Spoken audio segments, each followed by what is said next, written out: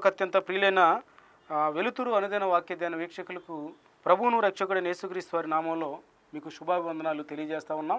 అనుదిన వాక్యధ్యాన కార్యక్రమానికి మిమ్మల్ని ప్రేమపూర్వకంగా ఆహ్వానిస్తున్నాం. రండి ఈరోజు మనం మత్స్య వార్త తొమ్మిదో అధ్యాయంలో ఇరవై ఏడవ వచనం నుంచి ముప్పై ఎనిమిదవ వచనం వరకు మనం ధ్యానం చేద్దాం. ఈ ఇరవై ఏడు నుంచి ముప్పై ఎనిమిది వచనాలు మనం రెండు భాగాలుగా విభజించి మనం ధ్యానించవచ్చు. ఇరవై ఏడు నుంచి ముప్పై నాలుగు వచనాలు యేసుక్రీస్తు ప్రభువారు ఒక గుడ్డు గుడ్డి వ్యక్తిని మరియు మోగా చెవిటి దయ్యాలు పట్టిన వ్యక్తిని స్వస్థపరచడం మనం చూస్తాం. అది మొదటి భాగం. ముప్పై ఐదో వచ్చిన నుంచి ముప్పై ఎనిమిదో వచ్చిన వరకు మనం చూస్తే యేసుక్రీస్తు ప్రభువారి యొక్క ఒక మంచి ఇంపార్టెంట్ ప్రేయర్ పాయింట్ని చెప్పటం దేవుని కార్యాలు లేకపోతే ద వర్క్స్ ఆర్ ఫ్యూ అని ఎంతో విస్తారమైన కోత ఉంది. పనివారు కొద్దిమందే ఉన్నారని కోతకు పనివారిని పంపమని శిష్యులకు ఒక ప్రేయర్ పాయింట్ వాళ్ళకి చెప్పటం తండ్రిని వేడుకోమని చెప్పటం మనం చూస్తాం. రండి మొదటి భాగంగా ఇరవై ఏడు నుంచి ముప్పై నాలుగు వచనాలు మనం ధ్యానం చేద్దాం. ఇరవై ఏడు వచనంలో దేవుడు ఇలా సెలవిస్తున్నాడు యేసు అక్కడి నుండి వెళ్ళుచుండగా అంటే నిన్నటి తరగతిలో మనం చూసాం. యేసు ప్రభు వారు చనిపోయిన ఆ అధికారి యొక్క కుమార్తెను బ్రతికించాడు. బ్రతికించి ఆ ఇంటి దగ్గర నుంచి బయలుదేరి వెళ్ళిపోతున్నారు. వెళ్ళుచుండగా ఇద్దరు గుడ్డివారు ఆయన వెంట వచ్చి దావీదు కుమారుడ మమ్మును కనికరించమని కేకలు వేసింది ఆయన ఇంట ప్రవేశించిన తర్వాత గుడ్డువారు ఆయన యొద్దకు వచ్చిరి యేసు నేను ఇది చేయగలనని మీరు నమ్ముచున్నారా? అని వారిని అడుగగా. వారు నమ్ముచున్నాం ప్రభు అని ఆయనతో చెప్పిరి. అప్పుడు ఆయన వారి కన్నులు ముట్టి మీ నమ్మిక చొప్పున మీకు కలుగు గాకని చెప్పినంతలో వారి కన్నులు తెరవబడెను. ఇక్కడ మనం ఇద్దరి గుడ్డి వ్యక్తులు మనం చూస్తూ ఉంటున్నాం. ఇద్దరు గుడ్డివారు ఆ కాలంలో బ్లైండ్ వస్తే గుడ్డితనం వస్తే కనుక అనేక మంది యూదులు లేకపోతే ఇస్రాయేల్ ఏమనుకునే వాళ్ళంటే ఇతడు ఏదో ఒక పాపం చేశాడు. తను చేసిన జన్మ పాప చేసిన పాపాన్ని బట్టి లేకపోతే వీరి పితరులు చేసిన పాపాన్ని బట్టి ఇతనికి గుడ్డితనం వచ్చేదని ఆనా ఆ కాలంలో భావించేవాళ్ళు వాళ్ళు.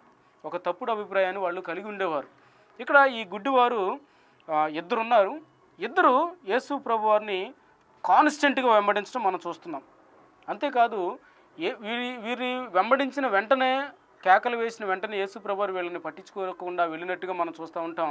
అయినప్పటికీ వీళ్ళు స్థిరమైన విశ్వాసంతో ఆయన వెంబడించడం మాత్రం మానలేదు. మొదటగా చూస్తే వీళ్ళు యేసు ప్రభుని ఏమని సంబోధించారు చూడండి. అప్పటివరకు ఎవరూ సంబోధించలేదు. వీళ్ళు ఏమంటున్నారంటే ఆయన వెంట వచ్చి దావీదు కుమారుడా మమ్మును కనుకరించమని కేకలు వేసిరి. అంటే ద సన్ ఆఫ్ డేవిడ్ అని వాళ్ళు పిలుస్తున్నారు. అంటే యేసుక్రీస్తు ప్రభువారిని విమోచకుడిగా దేవుడు వాగ్దానం చేసిన మెస్సయాగా వాళ్ళు నమ్మారు విశ్వాసం ఉంచారు. అంటే దావీదికి దేవుడు వాగ్దానం చేసిన నిజమైన వారసుడు ఇతనే. యేసు అరే ఈయన మెస్సయా ఈయన మనిషి మాత్రమే కాదు సంపూర్ణ దేవుడు. ఈయన మనకి గుడ్డితనాన్ని తొలగించి వెలుగును ప్రసాదింప చేయగలడు అని వాళ్ళు దేవుణ్ణి మెస్సయాగా లేకపోతే యేసుక్రీస్తు ప్రభువారిని మెస్సయాగా దావీదు కుమారుడిగా విశ్వసించి దానితోనే దాంతోనే ఆయన్ని సంబోధించడం మనం చూస్తున్నాం. గమనించండి యేసుక్రీస్తు ప్రభువారు ఫౌంటైన్ ఆఫ్ ద లైఫ్ అంటాం లేకపోతే ఫౌంటైన్ ఆఫ్ ద లైట్ అంటాం. అంటే యేసు ప్రభువారు వెలుగుకి జనకుడు ఆయన అంటే సోర్స్ ఆఫ్ లైట్ అన్నమాట. అంతేకాదు జీవానికి కూడా జనకుడు ఆయన అంటే దేవుడుకున్న ఒక గుణలక్షణం ఏంటంటే ఆయన వెలుగుని ప్రసరింపజేసేవాడు అజ్ఞానాన్ని లేకపోతే అంధకారాన్ని తొలగించేవాడు. అంతేకాదు ని- నిర్జీవంగా ఉన్న వాటికి జీవాన్ని ఇచ్చేవాడు జీవం లేకపోతే లైఫ్ అనేది ఆయన స్వభావంలో ఇమిడిపోయింది. యేసుప్రభువారిలో ఈ రెండు లక్షణాలు కూడా మనకు కనిపిస్తూ ఉంటాయి. నిన్నటి తరగతిలో చనిపోయిన కుమార్తెను తను బాగు చేసినప్పుడు తనలో తన లైఫ్ ఉంది. ఆ- ఆ- లైఫ్కి తను సోర్స్ అయి ఉన్నాడని మనం విశ్వసించాం. అంతేకాదు ఈరోజు వీళ్ళని బాగు చేసి వీళ్ళ జీవితంలో నూతన వెలుగుని ప్రసా ప్రసాదించినప్పుడు దేవుడు నిజంగా is the fountain of life అని లైట్ అని మనం అర్థం చేసుకోవచ్చు. వీళ్ళు చూడండి వీళ్ళని మనం గమనిస్తూ ఉంటే ఒకటి యేసుప్రభు వారిని దావీదు కుమారుడని సంబోధించారు. ఇంత మాత్రమే కాదు మమ్మను కనికరించమని కేకలు వేశారు. అంటే అంతమంది జనసమూహాల మధ్యలో వందల వేలు మల్టిట్యూడ్ మధ్యలో గుండా యేసుప్రభు వెళ్తూ ఉంటే గుడ్డివారు దారి సరి కనిపించడానికి ఆస్కారం లేదు. అయినా సరే వాళ్ళు తడుములాడుకుంటూ ఆయనని వెంబడిస్తూ వెంబడిస్తూ వెంబడిస్తూ గట్టి గట్టిగా కేకలు వేస్తున్నారు. దావీదు కుమారుడా దావీదు కుమారుడా మమ్మల్ని కనికరించు మా మీద జాలి చూపించు మా మీద దయ చూపించు మాకు గుడ్డితనాన్ని తొలగించు అని అరుస్తా అరుస్తా ఆయన్ని వెంబడించడం మనం చూస్తున్నాం. మా మీద కనికరం చూపించు. నిజంగా యేసుప్రభు కొండ మీద ప్రసంగంలో చెప్పారు కనికరం గలవారు ధనిలు వారు కనికరించబడతారు. దేవునికి ఉన్న ఒక గుణలక్షణం ఏంటంటే కనికరాన్ని కనపరిచే దేవుడు. నేను బలిని కోరుకునేవాడిని కాదు కనికరాన్ని కో కనికరాన్ని జాలిని కోరుకునే దేవుడిని యేసు ప్రభు తన గురించి తను చెప్పుకున్నాడు. నిజంగా దేవుడు తన కనికరాన్ని గట్ట గనక సర్వ మానవాళి మీద చూపించకపోయినట్లయితే మనందరం నేటికి కూడా మన పాపంలోనే నశించిపోయేవాళ్ళం. దేవుడు ఎంతగా మనల్ని టాలరేట్ చేస్తున్నాడంటే నిజంగా ఒక్కరోజు కూడా ఆయన సంతోషపరచడం మనకి చేత కాదు. అరికాల నుంచి నన్నెత్తి వరకు పాపంతో నిండుకొని ఉన్నాం. మన తలంపుల్లో పాపం ఉంది మన హృదయంలో పాపం ఉంది మన స్వభావంలోనే పాపం ఉంది దావీదు కీర్తనకారుడు అంటాడు యాభై ఒకటో కీర్తనలో నేను నా తల్లి గర్భంలో ఉండంగానే నేను పాపినై ఉన్నాను. పాపపు స్వభావంతో నేను పుడుతున్నాను. నేను పాపాలు చేస్తున్నాను కాబట్టి నేను పాపిన అవ్వలేదు. పాపినై ఉన్నాను కాబట్టి ఆ స్వభావంతో నేను పాపం చేయగలుగుతున్నాను. అంటే మనలో అంత పాపం ఇమిడి ఉన్నప్పుడు మనం ఏం చేసి దేవుణ్ణి ధైర్యంగా ఆయన ముందుకు వచ్చి నిలబడగలమంటే ఏం చేసినా సరే ఆయన ముందుకు వచ్చి మనం ధైర్యంగా నిలబడలేం. ఇక్కడ వీళ్ళు అంటారు మా మీద జాలి చూపించయ్యా. మా మీద కనికరాన్ని చూపించయ్యా. మమ్మల్ని పట్టించుకో ప్రభువా. దయతో మమ్మల్ని జ్ఞాపకం చేసుకో. ఎంతగా వాళ్ళు గోజాడుతున్నారు చూడండి. కేకలు వేసినప్పుడు యేసుప్రభు మొదటగా వాళ్ళని పట్టించుకోకుండా వెళ్ళినట్టుగా మనం చూస్తున్నాం. అంటే వాళ్ళని విస్మరించడం కాదు. అంతకంటే ఘనమైన కార్యం వాళ్ళ జీవితంలో చేయడానికి దేవుడు రెడీగా ఉన్నాడు. కేకలు వేసినప్పుడు యేసుప్రభర్ అలాగే దారి గుండా వెళ్ళిపోయారు. ఫైనల్గా ఆయన ఇంట ప్రవేశించిన తర్వాత ఒక ఇంటికి ఆయన వెళ్ళాడు. ఇంట ప్రవేశించిన తర్వాత ఆ గుడ్డు వారు ఆయన ఎదుకు వచ్చారు. చూడండి is it is the open home. Yesukristu ప్రభు యొక్క గృహాన్ని మనం చూస్తూ ఉంటే అది తెరిచిన గృహం అనమాట ఓపెన్ ఫ్యామిలీ ఓపెన్ హౌస్ అది. అంటే చాలా మందిని మనం చూస్తూ ఉంటాం ఈ రోజుల్లో గొప్ప గొప్ప పేరు ప్రఖ్యాతులు ఉన్న దైవ సేవకులను కూడా మనం చూస్తూ ఉంటాం. వాచ్మెన్ దగ్గర పర్మిషన్ ఉండాలి లేకపోతే ముందుగానే ఫోన్లో పర్మిషన్ తీసుకోవాలి. అది అందరికీ పర్మిషన్ ఇవ్వరు వాళ్ళని మీట్ అవ్వటానికి వాళ్ళ ఇంట్లోకి ప్రవేశించడానికి వాళ్ళు అవకాశం ఇవ్వరు లోకరీతిగా ఉన్న పెద్ద పెద్ద స్థాయిలో ఉన్న అధికారులు మంత్రులు లేకపోతే ఎమ్మెల్యేలు మినిస్టర్స్ ఎవరైనా సరే ఓపెన్ హోమ్గా ఎవరు ఉండరు. బట్ యేసుక్రీస్తు ప్రభాని మనం చూస్తూ ఉంటే ఈ గుడ్డివారు లేకపోతే పేదవారు లోకంలో చిన్న చూపు చూడబడే వ్యక్తులు డైరెక్ట్గా ఆయన ఇంటికి వెళ్ళిపోయి ఆయన పక్కన కూర్చునేటంతా ఓపెన్నెస్ అనేది దేవుడు అనుగ్రహించాడు అంటే ఎంతగా దేవుడు తను తను తగ్గించుకొని వారి మధ్యలోకి వచ్చాడో చూడండి. యేసుప్రభుకు ఒక పేరు పెట్టాడు. ఇతను పాపుల స్నేహితుడు ఇతరు సుంకరులకు స్నేహితుడు. ఇదిగో అణగారిన వర్గాలకి ఈయన స్నేహితుడిగా ఉన్నాడు. పాపులతోనే తిరుగుతున్నాడు పాపులతోనే తాగుతున్నాడు. ఎప్పుడు చూసినా పాపులతో నేను ఇంత పరిశుద్ధుడు ఏం ఇంత దైవత్వం ఉంది. అయినా సరేనా పాపులు ఎలా కలవగలుగుతున్నారంటే దేవుడు మన మీద చూపించే అత్యంత జాలి అత్యంత కనికరం. చూడండి యేసు ప్రభువారు తన గృహాన్ని ఓపెన్ హోమ్గా ఉంచారు. మనం కూడా అంతగా మనల్ని మనం తగ్గించుకొని ఒక ప్రేయర్ రిక్వెస్ట్తో ఎవరన్నా మన దగ్గరకు వస్తున్నప్పటికీ లేకపోతే కౌన్సిలింగ్ కోసం మరిదేని కోసం మన దగ్గరకు వస్తున్నప్పుడు చాలా ఫ్రీగా వాళ్ళకున్న ఆలోచనలు వాళ్ళకున్న సందేహాలు మనతో పంచుకొని నివృత్తి చేసుకునేటట్టుగా అంతగా మనం వాళ్ళకి అర్థమయ్యేటట్లుగా మనం ఉండాలి. ఇక్కడ వాళ్ళు ఆయన ఇంట ప్రవేశించిన తర్వాత ఆ గుడ్డివారు కూడా ఆయన దగ్గరకు వచ్చి మళ్ళీ అదే విషయం చెప్తున్నారు. అయ్యా మమ్మల్ని కనుకరించమని అన్నప్పుడు యేసు ప్రభు ఒక ప్రశ్న అడిగారు. నేను ఇది చేయగలనని మీరు నమ్ముతున్నారా? అని వారిని అడుగగా వారు నమ్ముచున్నాం ప్రభు అని ఆయనతో చెప్పిరి. యేసు ప్రభు ఒక ప్రశ్న అడిగారు. ఇదిగో ఇది నేను చేస్తా చేయగలనని మీరు నమ్ముతున్నారంటే ప్రభు నువ్వు ఖచ్చితంగా ఇది చేయగలవని మేము మా హృదయపూర్వకంగా నమ్ముచున్నాము అని చెప్పినప్పుడు వెంటనే యేసుక్రీస్తు ప్రభువారు ఏం చేశారంటే వారి కన్నులు ముట్టి మీ నమ్మిక చొప్పున మీకు కలుగునుగా కానీ చెప్పినంతలో వారి కన్నులు తెరవబడెను. చూడండి వీళ్ళకున్న నమ్మకాన్ని వీళ్ళకున్న విశ్వాసాన్ని దేవుడు ఎంతగా హానర్ చేశాడంటే వెంటనే ఆయన చేతులు వాళ్ళ క వాళ్ళ బ్లైండ్గా గుడ్డితనంగా ఉన్న కళ్ళ మీద ముట్టినప్పుడు మీ నమ్మిక చొప్పున మీకు జరుగుతుంది.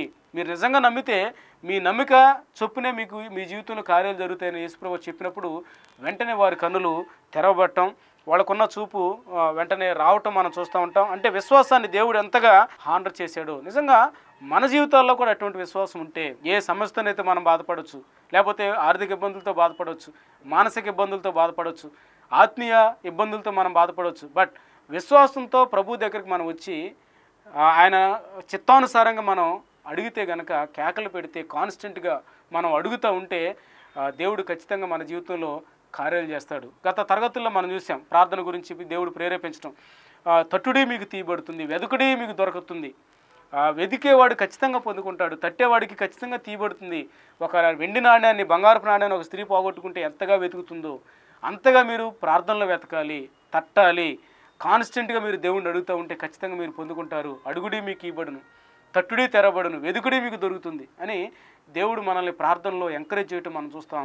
నిజంగా మనలో అటువంటి విశ్వాసం ఉంటే ఖచ్చితంగా మన జీవితంలో కార్యాలు జరుగుతాయి అనడానికి ఇది మనకి మంచి ఉదాహరణగా మనం భావించవచ్చు. అంత మాత్రమే కాదు ముప్పై వచ్చిన మనం చూస్తాం అప్పుడు యేసు ఇది ఎవరికిని తెలియకుండా చూసుకున్నాడని వారికి ఖండితంగా ఆజ్ఞాపించను అయినను వారు వెళ్ళి ఆ దేశమంతటా ఆయన కీర్తి ప్రచురం చేశారు. ఇటువంటి మీరు ఎవరికీ చెప్పొద్దని వాళ్ళు చెప్తే నిజంగా వాళ్ళ జీవితంలో దేవుడు చేసిన ఆ మహోన్నతమైన కార్యాన్ని ఇతరులకు చెప్పకుండా వాళ్ళు ఉండలేకపోయారు. నిజంగా అంతవరకు ఎప్పటి నుంచో వాళ్ళు గుడ్డితనంలో ఉన్నారు. చాలా సంవత్సరాలు దశాబ్దాలు గతించిపోతూ ఉన్నాయి.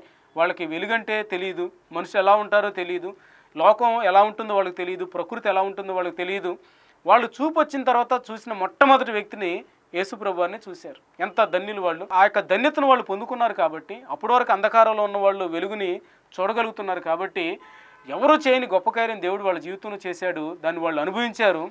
దాన్ని ఇతరులకు చెప్పకుండా వాళ్ళు ఉండలేకపోయారు. వాళ్ళు ప్రభు సాక్షులుగా ప్రభు సాక్షార్థం ఉండి ఆ దేశమంతటా దేవుడు వారి జీవితంలో చేసిన కార్యాన్ని ప్రచురపరిచి దేవుని కీర్తిని గురించి వాళ్ళు ప్రచురం చేసినట్టుగా మనం చూస్తున్నాం. ఇది మొదటి భాగం. రెండవ విషయాన్ని మనం చూస్తే దీనిలోనే ముప్పై రెండు నుంచి ముప్పై నాలుగు వచనాల్లో మరొక విషయం మనకు అర్థమవుతుంది. చూడండి ముప్పై రెండవ వచనంలో యేసును ఆయన శిష్యులను వెళ్ళుచుండగా కొందరు దయ్యములు పట్టిన ఒక మోగవాని ఆయన యొద్దకు తీసుకుని వచ్చిరి. దయ్యం వెళ్ళగొట్టబడిన తర్వాత ఆ మోగవాడు మాట్లాడగా జనసమూహములు ఆశ్చర్యపడి ఇస్రాయేలులో ఎలాగ ఎన్నడనూ కనబడలేదని చెప్పుకొనిరి. ఇక్కడ ఒక విషయం మనం చూస్తున్నాం. యేసు ప్రభు ఆయన శిష్యులు వెళ్ళిపోతూ ఉంటే కొంతమంది దెయ్యాలు పట్టిన వ్యక్తిని తీసుకొని వచ్చారు. ఆ దెయ్యాలు పట్టిన వ్యక్తి ఎలా ఉన్నాడంటే చెవిటి దెయ్యం పట్టింది మరియు మోగ దెయ్యం పెట్టినట్టుగా మనం చూస్తున్నాం. వాళ్ళకి అతనికి మాటలు లేవు. ఆ వ్యక్తికి యేసు వారి మీద విశ్వాసం ఉంచడం కూడా తెలియదు. సెన్స్లో లేడు. మాటలు రావు. వినబడదు. ఏదో అలా చూస్తున్నాడు. తనలో ఆ, దెయ్యాలు ఉన్నాయి కాబట్టి అతని యొక్క స్నేహితులు ఎవరైతే అతన్ని తీసుకొని వచ్చారో వారు యేసుక్రీస్తు ప్రభు వారి మీద విశ్వాసం ఉంచారు.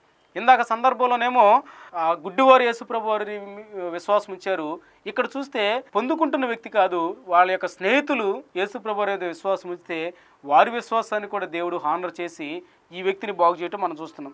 ఎప్పుడైతే దెయ్యాలు పట్టిన వ్యక్తిని మోగవాణ్ణి లేకపోతే చెవిటివాడిని ఆయన దగ్గర తీసుకుని వచ్చారో యేసుప్రభు వెంటనే దెయ్యాలు వెళ్ళగొట్టారు. వెంటనే ఆ వాడు మాట్లాడగా జనసమూహాలు ఆశ్చర్యపడ్డారు. ఆ వ్యక్తి జీవితంలో ఎంత మార్పు వచ్చిందంటే మనుషులు ఆశ్చర్యపడి దేవుణ్ణి కొనియాడేటంత గొప్ప కార్యాన్ని దేవుడు తన జీవితంలో జరిగించినట్టుగా మనం చూస్తున్నాం. ఆయన దగ్గరకు వచ్చినప్పుడు దయ్యాలు యేసుప్రభువారు గద్దించిన వెంటనే పారిపోతున్నాయి. కారణం ఏంటంటే it is the divine power యేసుప్రభువారి యొక్క దైవిక శక్తి ఒక వ్యక్తిలో ఉన్న మోగదయ్యాన్ని ఒక వ్యక్తిలో ఉన్న చెవిటి దయ్యాన్ని వెళ్ళగొట్టడం మనం చూస్తున్నాం. వెళ్ళగొట్టబడిన వెంటనే అప్పటి వరకు వాటి చేత పీడించబడుతున్న పీడించబడిన వ్యక్తి ఎప్పుడైతే వాటి నుంచి విడుదల పొందాడో వెంటనే తను ప్రశాంతంగా కనపడి మాట్లాడటం చూస్తూ ఉన్నాం. ఎప్పుడైతే మాట్లాడుతున్నాడో జనసమూహాలు ఆశ్చర్యపడి ఇస్రాయేలులో ఎలాగ ఎన్నడూ కనబడలేదని చెప్పుకున్నారు. అక్కడున్న గ్రేట్ మల్టిట్యూడ్స్ అన్నమాట. జనసమూహాలు అందరూ ఇస్రాయేలులో ఇంతకాలం నుంచి మనం చూస్తున్నాం. మన పితరులు అబ్రహాం దగ్గర నుంచి మనం చూస్తున్నాం. అప్పటి నుంచి ఇప్పటి వరకు మనం చూస్తూ ఉంటే ఇత ఇస్రాయేలులో ఇటువంటి కార్యాలు ఇంతకుముందు ఎప్పుడూ జరగలేదు. ఇప్పుడు మనం వీటిని చూడగలుగుతున్నాం అని వాళ్ళు ఆశ్చర్యపోవటం మనం చూస్తూ ఉంటాం. ఎప్పుడైతే వీళ్ళు ఆశ్చర్యపోతున్నారో ఇంకొక తెగ ఉన్నారు ముప్పై నాలుగు వచనంలో. అయితే పరిసయులు ఇతడు దయ్యముల అధిపతి వల్ల దయ్యములను వెళ్ళగొట్టుచున్నారని చెప్పిరి. చూడండి పరిసయులు ఎప్పుడు యేసుక్రీస్తు ప్రభువారిని విమర్శించడమే పరిగా పెట్టుకుంటారు. ఇదిగో దయ్యాలు యొక్క అధిపతి దయ్యాల యొక్క శక్తితో అధిపతి వలన దయ్యాలను వెళ్ళగొట్టుచున్నారని చెప్పారు. అంటే దేవుని యొక్క కార్యాలని కొనియాడేవారు ఉన్నారు అదేవిధంగా దేవుని యొక్క కార్యాలని తృణీకరించేవారు తృణీకరించే వారు కూడా ఉన్నారు.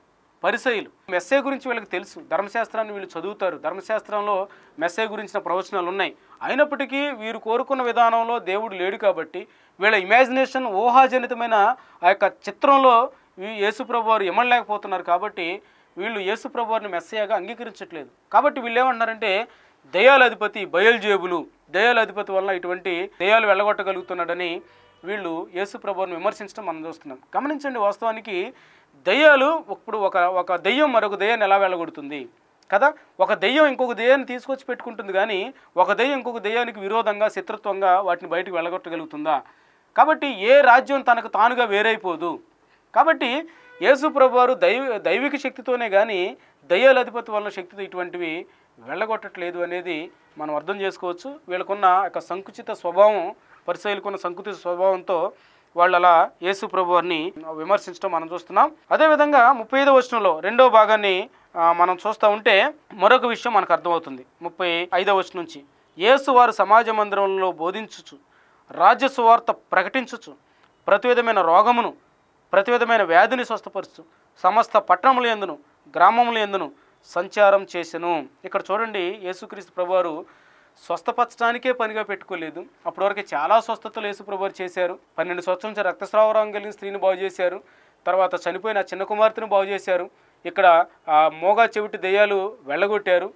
అంత మాత్రమే కాదు ఆ గుడ్డివాడిని కూడా బాగు చేశారు. అనేక మంది తన దగ్గరకు వస్తున్న ప్రతి వ్యక్తి యొక్క అవసరతలు తీరుస్తూ వాళ్ళని స్వస్థపరుస్తూ యేసు ప్రభువారు ఉన్నారు. జనాలు ఆయన కీర్తనంతటా వ్యాపింపజేస్తున్నారు. కానీ స్వస్థత కార్యాలు చేయటం మాత్రమే పనిగా ఆయన పెట్టుకోలేదు. దేవుని రాజ్య సువార్తను ప్రకటించడంలో భాగంగా దేవుని చిత్తాన్ని ఈ భూమి మీద జరిగించడంలో భాగంగా ఆయన స్వస్థతలు చేశారు దెయ్యాలు వెళ్ళగొట్టారు వాటితోనే ఆయన ఆగలేదు.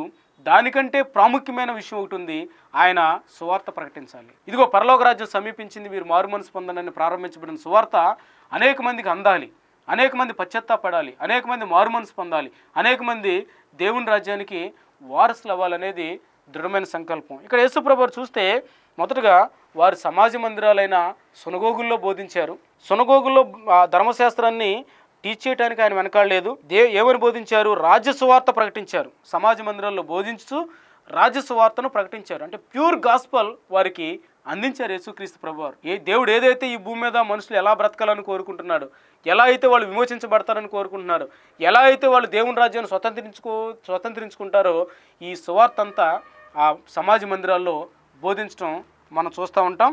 అంతేకాదు అక్కడ ప్రతి విధమైన రోగాన్ని ప్రతి విధమైన వ్యాధిని స్వస్థపరచడం మనం చూస్తున్నాం. ఒకవైపు ఏమో వార్త ప్రకటిస్తున్నారు సమాజ మందిరాల్లో బోధిస్తున్నాడు రోగాల నుంచి జనాలను విడిపించి స్వస్థపరుస్తున్నారు వారి అక్కలను తీరుస్తున్నారు.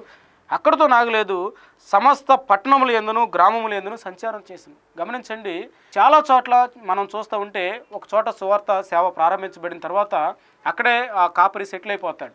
మొదట పది మందితో ప్రారంభమవుతుంది వంద మంది వస్తారు మెల్లిగా వెయ్యి మంది అవుతారు. అలా నంబర్ పెరుగుతూనే ఉంటుంది. ఈయనేమో దేవుని సువార్తను ప్రకటించే ఉద్దేశంతో ఇక్కడికి వచ్చాడు. కానీ జనసమూహాలందరూ ఇంత మల్టిట్యూడ్ ఇన్ని వందల వేల మంది వీళ్ళని ఈయన దగ్గరకు వచ్చేసేపాటికి ఇక్కడే సెటిల్ అయిపోయి అక్కడే పర్మనెంట్గా ఉండిపోతాడు. ఎందుకంటే ఇక్కడ అనేక వందల వేల మంది వస్తున్నారు బాగుందని అనుకుంటారు. కానీ సువార్త అందని వ్యక్తుల గురించి సువార్త అందని గ్రామాల గురించి సువార్త అందని పల్లెల గురించి సువార్త అందని మారుమూల అడవి ప్రాంతాల గురించి నరమాంస భక్షకుల గురించి ఆటవిక తెగల గురించి ఎవరు ఆలోచించి లేని దుర్దినాల్లో మనం ఉన్నామని జ్ఞాపకం చేసుకోవాలి. ఇక్కడ యేసు ప్రభు వారి యొక్క పరిచర్యను మనం జాగ్రత్తగా ధ్యానం చేస్తే మందిరాల్లో ప్రకటించారు. అనేక వందల మంది ఉన్న మందిరంలో ఆయన దేవుని రాజ్య సువార్తను ప్రకటించాడు. తన గురించి తనేం చెప్పుకోలేదు. దేవుని గురించి ఆయన కార్యాల గురించి యేసుక్రీస్తు ప్రభువారు ఆయన రాజ్య సువార్తను చెప్పడం మనం చూస్తున్నాం. అంతేకాదు చుట్టుపక్కల ఉన్న పట్టణాల్లో బోధించాడు. పట్టణాలతోనే బాగుందని అనుకోలేదు సౌకర్యవంతంగా ప్రకటించడం తెలుసు. బట్ పల్లెల్లో కూడా ఆయన వెళ్ళి చుట్టుపక్కల ఉన్న గ్రామాల్లో కూడా వెళ్ళి పరిచయం చేశారు. చాలా మంది గ్రామాల్లోకి వెళ్ళి పరిచయం చేయటం మానేశారు. మారుమూల అడవుల్లోకి మారుమూల ప్రాంతాల్లోకి మారుమూల రాష్ట్రాల్లోకి వెళ్ళి పరిచయం చేయటం మానేసేసారు ఎందుకంటే రిస్క్ తీసుకోవడానికి ఇష్టపడలేదు. నిజంగా పట్టణాల్లో పరిచర్యకును పల్లెల్లో పరిచర్యకి గ్రామాల్లో పరిచర్యకి చాలా వ్యత్యాసం ఉంది. ఇక్కడున్న సౌకర్యాలు గ్రామాల్లో ఉండవు. పట్టణాల్లో ఉన్న సుఖవంతమైన జీవితం గ్రామాల్లో దొరకదు. గ్రామాల్లోకి వెళ్ళి సువార్త ప్రకటించాలంటే కొన్ని త్యాగం చేయాలి కొన్ని వదులుకోవాలి కొన్ని నష్టాలు భరించాలి. మనకున్న ఇష్టాలు వదిలేయాలి. చాలా కష్టమైన పరిచర్య. అడవుల్లో ఆటవిక తెగల మధ్య పరిచర్య. మనకి డేవిడ్ లివింగ్స్టన్ అనే భక్తుడు నర్మాంస భక్షకుల మధ్యకి వెళ్ళిపోయి ఆఫ్రికాలో వాళ్ళ మధ్య పరిచయం చేస్తాడు. ఎవరు వెళ్ళని చోటకు నేను వెళ్ళాలని డిసైడ్ చేసుకున్నాడు. ప్రభు అతను ఒక ప్రార్థన చేస్తే ప్రభు నా నేను ఆఫ్రికా వెళ్తాను నన్ను ఆ నర్మాంస భక్షులకు మధ్యకి నువ్వు పంపించు అని ఆ డేవిడ్ లివింగ్స్టన్ అనే భక్తుడు ఇంగ్లాండ్ నుంచి ఆఫ్రికా వెళ్ళి ఆ నర్మాంస భక్షకుల మధ్య చాలా విలువైన సువార్తను తను ప్రకటించాడు. అక్కడి నుంచి అనేక మంది దేవుణ్ణి నమ్ముకున్నారు. అక్కడి నుంచి ఎన్నో ఎంతోమంది మిషనరీలు చుట్టుపక్కల ఉన్న దేశాలకి సేవకులుగా మారి వెళ్ళిపోయినట్టుగా మనం చూస్తున్నాం. గమనించండి గ్రామాల్లో పరిచర్య పట్టణాల్లో పరిచర్య మందిరాల్లో పరిచర్య వీటన్నిటిని యేసుక్రీస్తు ప్రభు ఎంత బ్యాలెన్స్గా చేస్తున్నారో మనం చూడాలి. మనకు ఒక ఆదర్శవంతమైన ఒక జీవితాన్ని యేసు ప్రభు వారు మనకు చూపిస్తున్నారు. సౌకర్యవంతమే కాదు రిస్క్ తీసుకోవడానికి కూడా మనం ఇష్టపడాలి. యేసు ప్రభు వారు సమాజ మందిరాల్లో బోధించాడు తర్వాత స్వస్థపరిచారు తర్వాత పట్టణాల్లోనూ గ్రామాల్లోనూ సంచారం చేసి ప్రకటించడం మనం చూస్తున్నాం. అయితే ఆయన ఇలా సంచారం చేసుకుంటూ వెళ్ళే క్రమంలో యేసు ప్రభువారికి ఒక సంఘటన ఆయన చూశాడు. ఏంటంటే ముప్పై ఆరు వచనంలో ఆయన జనసమూహాలను చూసి వారు కాపర్లేని గొర్రెల వలె విసిగి చెదిరి ఉన్నందున వారి మీద కనికరపడి. ఇక్కడ అనేక మంది జనసమూహాలు ఆయన బోధలు వినటానికి వచ్చి ఆయన్ని వెంబడిస్తూ ఉంటే ఒకసారి వాళ్ళ వైపుగా చూస్తే ఆయనకి కనికరం వచ్చిందంట. ఏంటది? కాపర్ లేని గొర్రెల్లాగా విసిగి చెదిరి ఉన్నారు. కాపరు లేని గొర్రెలు మనకు తెలుసు పల్లెటూర్లలో మనం చూస్తూ ఉంటాం. గొర్రెల కాపరి ముందు నడుస్తూ ఉంటాడు. గొర్రె గొర్రెలు ఆ కాపరిని వెంబడిస్తూ వెళ్తూ ఉంటాయి. గొర్రెల కాపరి లేకపోతే గొర్రెలకి ఎటు వెళ్ళాలో తెలియదు. చెదిరిపోతాయి విసిగిపోతాయి వేసారిపోతాయి ఎటు అటు వెళ్ళిపోతాయి. ఎందుకంటే వాటికి కాపరు లేడు. ఇక్కడ ఇన్ని వేల మంది సమూహాలను యేసుప్రభు చూస్తే వారు కాపరు లేని గొర్రెల్లాగా విసిగి చెదిరి ఉన్నారని వారి మీద కనికరపడ్డాడు వాస్తవానికి వారికి కాపర్లు లేక కాదు. ధర్మశాస్త్రాన్ని బోధించే ప్రధాన యాజకులు ఉన్నారు. యాజకులు ఉన్నారు పరిసయులు ఉన్నారు శాస్త్రులు ఉన్నారు ఎంతోమంది వాళ్ళ స్వార్థ ప్రకటించే వాళ్ళు ఉన్నారు కాపర్లు ఉన్నారు. బట్ వాళ్ళు నిజమైన కాపరులాగా వాళ్ళకి బోధించట్లేదు అని యేసు ప్రభువారు వారి మీద కనికరపడ్డారు. నిజమైన కాపరులే అయితే దేవుడు చెప్పాడు నేను గొర్రెలకు మంచి కాపరిని. నేను ఎలా మంచి కాపరిని అంటే అవసరమైతే నా గొర్రెల కోసం నేను నా ప్రాణాన్ని పెడతాను. నా ప్రాణాన్ని పెట్టేంతగా నేను వాటిని ప్రేమిస్తున్నాను. నా గొర్రెల దొడ్లోకి వచ్చిన వేటిని నేను పోగొట్టుకోను. ఈ గొర్రెలను దేవుడు నాకు తండ్రి నాకు అనుగ్రహించాడు. కానీ కొంతమంది ఉంటారు వాళ్ళు జీతగాళ్ళు. ఈ వీడు జీతగాళ్ళు ఏం చేస్తారంటే తోడేలు గొర్రెల మీదకి వచ్చినప్పుడు గొర్రెల్ని ఈడ్చుకొని వెళ్ళిపోతున్నా కానీ జీతగాడు పట్టించుకోడు. కానీ కాపరి అలా కాదు. నిజమైన కాపరి ఆ తోడేలతో పోరాడి దాని మీద ఫైటింగ్ చేసి తన గొర్రెను విడిపించుకుంటాడు. అవసరమైతే తన గొర్రెను కాపాడుకునే క్రమంలో అవసరమైతే తన ప్రాణాన్ని పెడతాడు. అటువంటి వాడు నిజమైన కాపరి మిగతా వాళ్ళు జీతగాళ్ళు. నిజంగా ఇన్ని వేల మంది జనసమూహాలు యేసుప్రభు చూస్తే వారు కాపర్లేని గొర్రెల్లాగా ఉన్నారని వారి మీద జాలిపడి కనికరపడి ఒక ఇంపార్టెంట్ ప్రేయర్ పాయింట్ తన శిష్యులకు చెప్తూ ఉంటారు. చూడండి కనికరపడి కోత విస్తారమే కానీ పనివారు కొద్దిగా ఉన్నారు. కనుక తన కోతకు పనివారిని పంపమని కోత యజమాని వేడుకొనిడని తన శిష్యులతో చెప్పాను. ఇక్కడ గమనించండి ఒక ప్రాముఖ్యమైన ప్రేయర్ పాయింట్ని తన శిష్యులకు చెప్పడం మనం చూస్తున్నాం. ఏమనంటే ఇదిగో కోత విస్తారంగా కనపడతా ఉంది. పంట వెన్నుదాకు వచ్చేసింది. ఇదిగో కోతకు రెడీగా ఉంది. రేపో మాపో కొయ్యాలి. కానీ కొయ్యటానికి పనివారు తక్కువ మంది ఉన్నారు. కాబట్టి ఈ తక్కువ మంది పనివారు ఇంత పెద్ద కోత విస్తారమైన కోతను కొయ్యలేరు. ఇది వాళ్ళ శక్తికి మించిన పని. కాబట్టి కొయ్యకపోతే ఈ పంట అంతా నాశనం అయిపోతుంది. కాబట్టి ఇదిగో కోతకు పనివారిని పంపమని కోత యజమాని మీరు వేడుకోండి ప్రార్థన చేయండి అని యేసు ప్రభు వారు తన శిష్యులకు బోధించడం మనం చూస్తున్నాం. కోతకు పనివారిని ఎవరు పంపాలంటే దేవుడు పంపాలి. ఏమని ప్రార్థన చేయాలి? ప్రభువా ఇదిగో జనాలందరూ కాపరలేని గొర్రెల్లాగా నశించిపోతున్నారు. ఇన్ని వేల మంది సరైన సువార్త అందక నశించిపోతున్నారు నాశనానికి వెళ్ళిపోతున్నారు. కాబట్టి నీ సేవకులను పంపించు. తనను తాను తగ్గించుకునే సేవకులు పంపించు. నీ కొరకు నమ్మకంగా పనిచేసి చేసే సేవకులు పంపించు. నిజంగా అనేక మంది సేవా జీవితాల్లో మనం చూస్తే వారి జీవితాల్లో నిండా స్వార్థం మనకు కనిపిస్తుంది గొర్రెల మీద జాలి చూపించరు. ఎంతవరకు వాళ్ళ దగ్గర నుంచి పిండుకోవాలో అంతవరకు పిండుకుంటారు కానీ వాటి మీద కనికరం చూపించరు. వాళ్ళ ఆత్మ విషయం వాళ్ళకి పట్టదు. కా- చాలామంది కాపర్లు వాళ్ళ దగ్గర నుంచి భౌతికమైన వాటిని డబ్బులనో లేకపోతే మరే వేటినో ఆశిస్తూ ఉన్నారు కానీ వాళ్ళ ఆత్మలు ఎటువైపు వెళ్తున్నాయో పట్టించుకోవట్లేదు. కాపర్ లేని గొర్రెలంటే వీళ్ళే. పేరుకే కాపరు ఉంటాడు. ఎందుకుంటాడు వీడు? వీళ్ళ దగ్గర నుంచి రావాల్సినన్ని దండుకుంటాడు. ఇన్ని వేల మందిని వాళ్ళ చుట్టుపక్కల చేర్చుకుంటాడు. కానీ ఏ ఆత్మ ఎటువైపు వెళుతుంది? వాళ్ళ పర్సనల్ లైఫ్ ఎలా ఉందో వాళ్ళ పర్సనల్ లైఫ్ గురించి ఎవరు పట్టించుకోరు. దేవుడు ఏమంటున్నారంటే అలా పట్టించుకోకుండా ఉన్న విశ్వాసుల్ని వీళ్ళు కాపరిలేని గొర్రెలు. కాబట్టి పనివారు ఏ పనివారు నమ్మకంగా దేవుని పరిచయం చేసే పనివారిని పంపించండి అని కోత యజమాని మీరు వేరుకోండి. The most important prayer request మనుషులది కాదు దేవుడిది. ఆ ప్రేయర్ రిక్వెస్ట్ ఏంటంటే అది వాళ్ళకే కాదు నేటి మనకు కూడా వర్తిస్తుంది. ప్రభువా దేవుడు మనకి పరలోక ప్రార్థన నేర్పించాడు. పరలోక ప్రార్థన మనం గతంలో చూసాం పరలోక ప్రార్థన మనం చూస్తే నీ రాజ్యం రావాలి నీ చిత్తం జరగాలి. ఈ ఇటువంటి విషయాలన్నీ ఆయన రాజ్యం రావాలి ఆయన చిత్తం జరగాలంటే సర్వ సృష్టికి సర్వ మానవాళికి సువార్త ప్రకటించాలి. సర్వ సృష్టికి సువార్త ప్రకటించాలంటే హింసలు తట్టుకొని శ్రమలు తట్టుకొని ప్రాణాలను సైతం లెక్క చేయకుండా నమ్మకంగా పనిచేసే సేవకులు కావాలి పనివారు కావాలి. గొర్రెల కోసం అవసరమైతే ప్రాణానికి తెగించి పోరాడే బండ సందుల్లో నిలబడే సేవకులు కావాలి. నమ్మకంగా ఆయన పరిచయం చేసే సేవకులు కావాలి. ఎవరో వెళ్ళని చోటకి నేను వెళ్తాను ప్రభువా నన్ను నువ్వు పంపించు నేను ఎంత కష్టమైన నీకోసం నేను నిలబడతాను అని నమ్మకంగా పనిచేసే తన ప్రాణాలని సైతం త్యజించుకొని వాళ్ళకున్న బంధుప్రీతిని త్యజించుకొని వాళ్ళకున్న సమస్తాన్ని తన తల్లిదండ్రులను తన తోబుట్టువుల్ని అందరిని విడిచిపెట్టి ప్రభువుని వెంబడించేటంత ప్రభు కోసం పనిచేసేటంత తెగింపు కలిగిన పనివారు కావాలని కోత యజమాని వేడుకోండి అని తన శిష్యులకి చెప్పడం మనం చూస్తున్నాం. కాబట్టి ఈరోజు మనం చూసిన అంశాలు ఒకటి విశ్వాసాన్ని దేవుడు ఎంతగా ఆనర్పరుస్తాడో మనం చూసాం ఇద్దరు గుడ్డి వ్యక్తుల్ని దేవుడు బాగు చేయటం మనం చూస్తున్నాం వారికి ఉన్న విశ్వాసాన్ని బట్టి. తర్వాత యేసుక్రీస్తు ప్రభువారు దయ్యాలను వెళ్ళగొట్టినప్పుడు మోగ చెవిటి దయ్యాన్ని ఆయన వెళ్ళగొట్టి వెళ్ళినప్పుడు ఆయనలో ఉన్న దైవిక శక్తి ఆయన దైవిక శక్తి కలిగి ఉన్నాడన్న విషయం మనం అర్థం చేసుకుంటాం. రెండు మూడోది యేసుక్రీస్తు ప్రభువారు దేవుని పని గురించి ఎంత తృష్ణ కలిగి ఉన్నాడో జనసమూహాలు చూసినప్పుడు వీళ్ళు కాపరలేని గొర్రెల్లాగా చెదిరి ఉన్నారు అని వాళ్ళ మీద జాలిపడి ఒక ఇంపార్టెంట్ ప్రేయర్ రిక్వెస్ట్ తన శిష్యులకి చెప్పడం మనం చూస్తున్నాం. అది ప్రేయర్ రిక్వెస్ట్ ఏంటంటే కోతకు పనివారిని పంపించండి కోత యజమాని మనం ప్రార్థన చేయాలని తన శిష్యుల్ని పురికొల్పటం మనం చూస్తున్నాం. కాబట్టి నేటి దినం నుంచి మనం మన అనుదిన ప్రార్థనలో మన పర్సనల్ ప్రేయర్ పాయింట్స్తో పాటు దానికంటే ప్రాముఖ్యంగా ఆయన రాజ్య సువార్తను వ్యాపింపజేసే పనివారు కావాలని కోతకు నమ్మకమైన పనివారు దేవుడు పంపించాలని నిజంగా మన చుట్టుపక్కల ఉన్న మన కుటుంబాల్లో ఉన్న వ్యక్తులు కానివ్వండి మన బంధువుల్లో ఉన్న వ్యక్తులు కానివ్వండి మన గ్రామంలో మన పట్టణాల్లో అనేక మంది నశించిపోతున్న ఆత్మలు మనకు కనిపిస్తూ ఉంటే అయినప్పటికీ కొంతమంది దేవుని సువార్తను వెంబడిస్తున్నాం అంటూనే అబద్ధ బోధకుల మధ్యలోకి వెళ్ళిపోయి ఆత్మను వాళ్ళు పాడు చేసుకుంటూ ఉంటే ఇవన్నీ మనం చూసినప్పుడు మంచిగా బోధించి నమ్మకంగా పనిచేసే సేవకులు కావాలి ప్రభు అని గోజాడి అంగలార్చి ప్రార్థన చేసే విశ్వాస జీవితం నమ్మకమైన జీవితం మనం కలిగి ఉండాలి. దేవుడు మన జీవితంలో తన వాక్యాన్ని దీవించిన గాక. తల్ల వంచండి చిన్న ప్రార్థన చేసుకుందాం.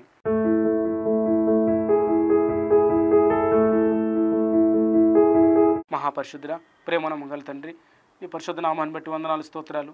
నాయన ఇద్దరు గుడ్డివారు ప్రభా దావీదు కుమారుడా మమ్మల్ని కనికరించని నీ వెంట పడ్డప్పుడు నాయన. అయ్యా నీ నమ్మిక చొప్పున మీకు కరుగుతుందని వారిని మీరు అడిగినప్పుడు మేము నమ్ముతున్నాం ప్రభువా అని వాళ్ళు స్థిరంగా జవాబిచ్చారు. నిజంగా వాళ్ళ నమ్మిక చొప్పున మీరు వాళ్ళని బాగు చేశారు. అదే రీతిగా ఆయన దయ్యాలు పట్టిన వ్యక్తి మోగా చెవిటి దయ్యాలు పట్టిన వ్యక్తిని మీరు స్వస్థపరిచారు. ఆయన దయ్యాలు వెళ్ళగొట్టారు ప్రభా. వాళ్ళు మాట్లాడటం చూసి ప్రజలందరూ ఆశ్చర్యపోయారు. నీ కీర్తిని కొనియాడారు ప్రభా. అదే రీతిగా నాయన అనేక మందిని మీరు అనేక చోటకు వెళ్ళి నాయన పట్టణాల్లో గ్రామాల్లో మందిరాల్లో సమాజ మందిరాల్లో సొనగోగుల్లో ప్రభా మీరు రాజసవార్తను ప్రకటించారు. నాయన సౌకర్యవంతం లేని ప్రదేశాలకు కూడా మీరు వెళ్ళారు. మిమ్మల్ని మీరు తగ్గించుకొని వెళ్ళారు ప్రభా. మేము కూడా నాయన అటువంటి మనసు కలిగి ఉండటానికి మా సుఖాలు మా సౌఖ్యాలు పక్కన పెట్టి ప్రభా మారుమూల ప్రాంతాల్లోకి వెళ్ళి ప్రభా సువార్త మేము ప్రకటించడానికి ఎవరు వెళ్ళని ప్రదేశాల్లోకి ప్రభా మేము వెళ్ళి నాయన నీ కొరకు కొన్ని ఆత్మలు గెలుచుకోవడానికి మీరు సహాయం చేయండి. సౌకర్యవంతమైన జీవితాన్ని మేము పక్కన పెట్టడం మాకు నేర్పించండి ప్రభా. దయగల తండ్రి అదే రీతిగా ప్రభా కోత విస్తారంగా ఉందని మేము ఎల్లప్పుడూ గుర్తుపెట్టుకొని మా వంతు పని మేము చేయటానికి ప్రభా. మా వంతు కోతను మేము కోయటానికి మీరు ఎల్ల మాకు కృపను అనుగ్రహించండి. అంతేకాదు నాయన మా అనుదిన ప్రార్థనలో ఒక ప్రాముఖ్యమైన ప్రార్థన అంశంగా నాయన నీ రాజస్వార్తను వ్యాపింపజేసే నమ్మకమైన పనివారు కావాలని నాయన రోజాటానికి సహాయం చేయమని వేడుకుంటూ మీరే మహిమ గంత ప్రభావాలు పొందుకోండి. మా వీక్షకుల జీవితాల్లో నీ వాక్యాన్ని ఫలింపచేయండి యేసు క్రీస్తు వారి నామాలు ప్రార్థిస్తున్నాము తండ్రి. ఆమెన్.